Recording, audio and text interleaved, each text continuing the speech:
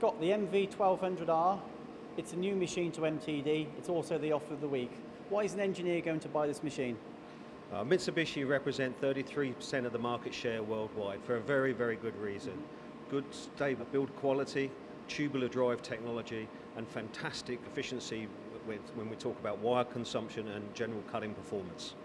So how is that an advantage? Presumably buying the machine is one thing, but there's obviously an on cost when you install it at your factory.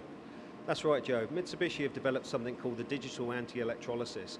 Everybody has anti-electrolysis, everybody has digital generators. But what this does, it actually slows the wire speed down and enables us to give a more straighter cut on the first cut, meaning that we can make massive consumption savings in wire uh, chippings, which r- has a significant reduction in the running cost of the machine because this is your biggest running cost of the machine.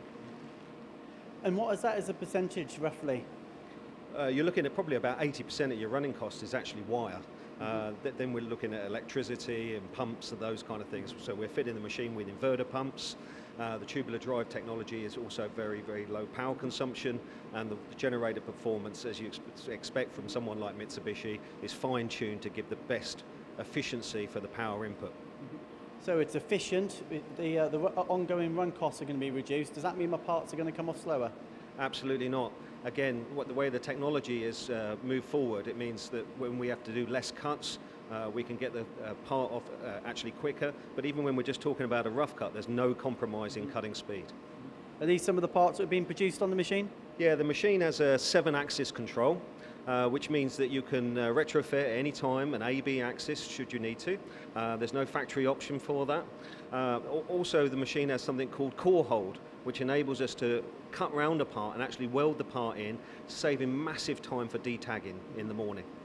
I know a lot of these extras are exactly that. You have to pay extra. Do you with Mitsubishi? Uh, that's all included on this particular model, the MV1200R.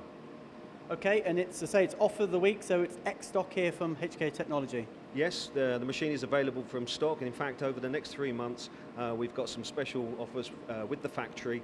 Uh, so if anybody wants to bring down their parts, take a look, we'd be more than happy to accommodate them.